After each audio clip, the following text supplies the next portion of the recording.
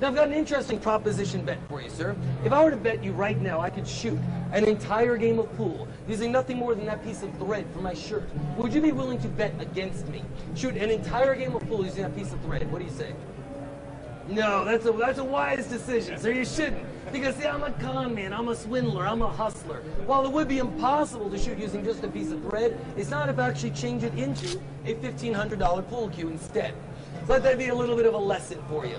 See, folks, I'm an expert at what I do, the same way that PowerLink is an expert at what they do. That's why I want you to know with our new online solutions, you now have the flexibility to get the solutions how and when you need them.